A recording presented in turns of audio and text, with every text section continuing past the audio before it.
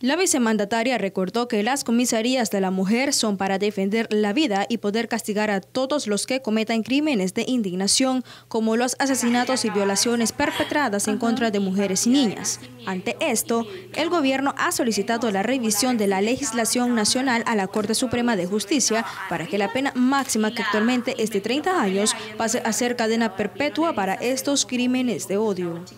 Comisaría de la mujer,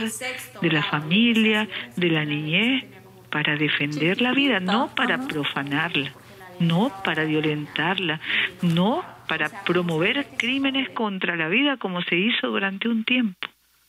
cuando esas comisarías estaban tomadas por personajes que todos conocemos. Y bueno, las familias en todo el país concuerdan con que debe, debe penarse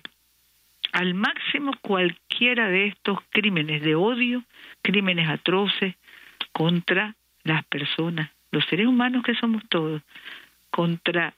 las familias, contra las comunidades. Envió un mensaje solidario por parte del pueblo y gobierno de Nicaragua al presidente de Guatemala, Alejandro Yamatei, luego de darse a conocer que dio positivo por el COVID-19, esperando su pronta recuperación y deseando los mejores deseos. Anunció más de 3.000 actividades a realizarse durante este fin de semana en todo el país, entre ellas ferias de salud, actividades culturales, ferias campesinas, también actividades deportivas, religiosas y mucho más informó que ya se está realizando el pago de pensiones del mes de septiembre. Son 143.446 pensiones en efectivo desde los centros de pagos del INS. A la fecha, se han pagado 65.637 pensiones reducidas, también 40.580 pagos de transferencias bancarias, 41.617 en cajas móvil, para un total de 291.280 jubilados de todo el país comunicó que este jueves 102 hermanos nicaragüenses provenientes de Panamá retornaron al país con todas las medidas de higiene y seguridad.